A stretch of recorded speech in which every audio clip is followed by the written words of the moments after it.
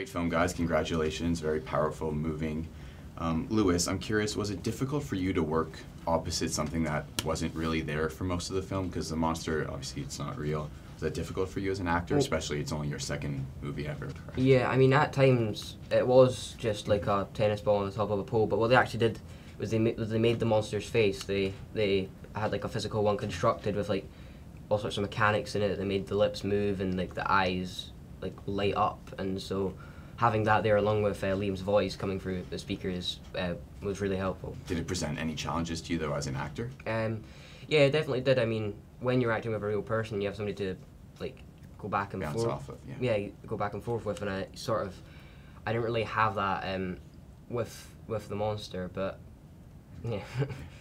And Felicity, I understand that you spoke with a lot of people who had terminal illnesses, who were going through chemotherapy. How did that inform your performance, and what did you learn from them? Oh, it was vital. It was it was so important uh, for all of us to, to understand the, the details of, of what it's like for someone to go through that. So I spoke to women who who were very candid about their experiences and and and I think you have a responsibility when you're playing this kind of role to, to get it right.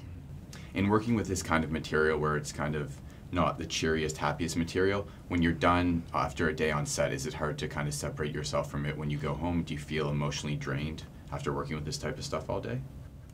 Well, to be honest, like at the end of a day, like when I've like been, let's say, getting very emotional, like Conor does, I, I often do feel this drained and just like completely just want to go to sleep. To be honest, that's what usually what I do.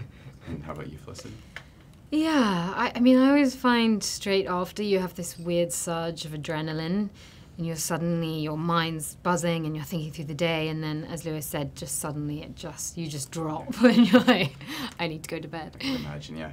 And just quickly before we wrap up, you have a small little sci-fi film coming up in a few months. Yeah, just People a might have heard of it, Rogue yeah. One, right? um, so we know Gareth is aiming to distinguish it from all the other Star Wars films. So in terms of tone, is it going to feel like something totally new, or will it still have kind of that classic, familiar Star Wars feel to it at parts? I, I feel the the way it's shot is very unique and it, it has a very realistic approach. So there was a lot of handheld camera.